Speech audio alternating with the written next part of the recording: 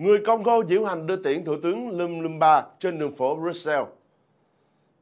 Hàng chục người hôm thứ Ba 21 tháng 6 đã tham gia diễu hành trên khắp các đường phố của Brussels để tỏ lòng thành kính với người anh hùng độc lập của Congo, Patrice Lumumba đã bị sát hại.